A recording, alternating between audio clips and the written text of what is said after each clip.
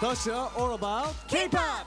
헐려 들어가 나도 모르게 빠져드는 UMC 리지 정신입니다. 아 이렇게 형들을 벗어나서 리지 씨랑 MC라니까 기분이 너무 좋네요.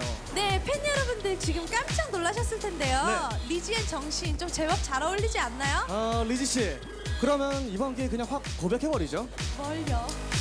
저 아. 지금 생방송인데 아, 전 그래도 팬들 앞에서 떳떳해지고 싶다고요. 남자답게 말하겠습니다. 저희 오늘 1일 MC예요. 잘 부탁드립니다. 잘 부탁합니다 네 만우절 유닛 리지의 정신과 함께하는 더쇼 오늘 깜짝 놀랄 이벤트가 잔뜩 준비되어 있죠? 네 맞습니다. 유쾌한 뻥이 언제 뻥뻥 터질지 모르니까 시선 집중, 정신 집중하시고 시작해 볼까요? 더쇼 플레이 진실입니다. 네, 진짜예요. 거짓말 만우절을 맞아 특별히 준비한 더쇼 진실 혹은 거짓 내 생에 가장 아찔했던 방송사고의 순간을 밝힌 스타 중 거짓을 말한 사람은 누구?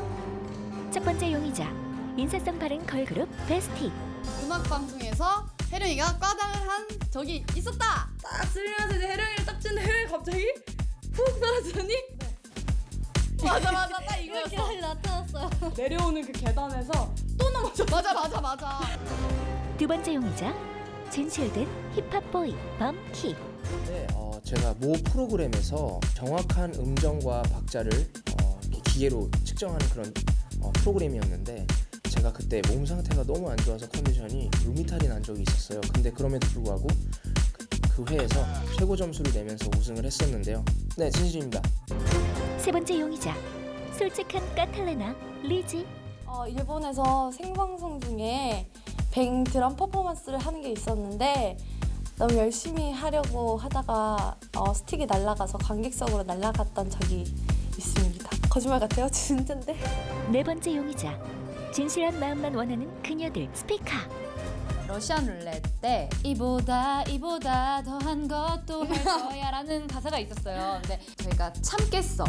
이보다 이보다 더한 것도 참겠어라고 바꿨거든요. 근데 제가 방송을 하다가 아무렇지도 않게 그냥 이보다 이보다 더한 것도 할까지 아 맞다 바뀌었지 하고 참겠어로 바로 바뀐 거예요. 바꾼 거예요. 그래서 이보다 이보다 더한 것도 할겠어 이렇게 돼가지고 약간 더러워진 그런 뭐 너무 민망했어요 진짜. 만우절 특집 더 쇼 세계의 진실과 하나의 거짓 과연 만우절 거짓을 말한 스타의 정체는?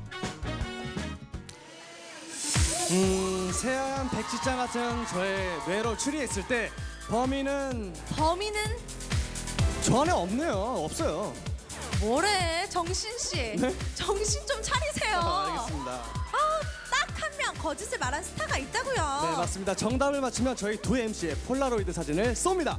네 방송 중 여기 이 부분에 본방 사수 이벤트 문구가 뜬다고 하니까요 네, 잽싸게 사진을 찍어 보내주시면 더쇼 종합 선물 세트를 보내드린다고 합니다. 네 빵빵 터지는 종합 선물 세트 절대 놓치지 마시고요 더쇼 플레이!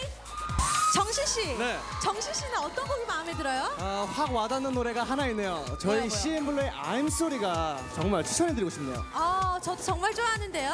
더쇼 스타들이 추천하는 만우절송 들으면서 오늘 하루 훈훈하게 마무리 잘하시고요. 네, 그리고 1년 반 만에 돌아온 섹시 여신 NS 윤지가 더쇼에서 컴백 무대를 공개한다고 하죠. 아, 정신 씨가 정말 오래 기다린 NS 윤지의 컴백 무대는 잠시 후에 만나보도록 하겠고요. 제가 먼저 기다린 홍대광 씨가 있어요. 먼저 네. 만나보시죠. 더 쇼. 플레이! 본방사수 이벤트를 잡아라. 네, 화면 오른쪽 바로 리지 씨의 머리 위에 이벤트 문구가 뜬다고 하는데요. 안 되겠네요. 왜요? 아니 시청자분들이 리지 씨의 미모에 홀려서 이벤트를 놓쳐버리면 어떡해요? 아, 정신 씨 네? 사람 참 괜찮다. 괜찮아요? 네. 네, 오늘 만우절이에요. 진행이나 하세요. 아, 할 거예요. 네, 배치기의 컴백 무대 잠시 후에 만나보도록 하겠고요. 네, 너 별일 없니? 애틋한 안부 인사의 주인공 가비 엔제이 먼저 만나볼게요. 더쇼 play. play!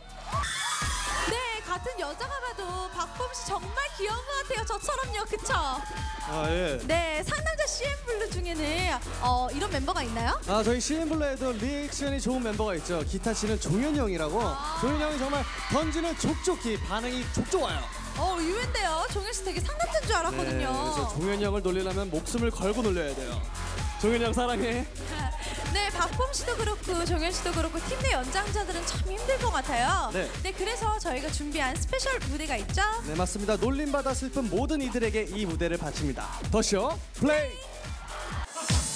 네, 만우절 특집 더쇼 이제 마지막 무대만 남겨두고 있는데요.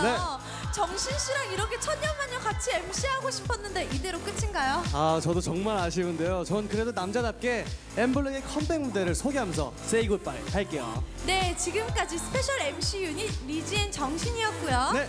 어, 여러분 보고 싶을 거예요. 그런데 과연 오늘이 끝일까요?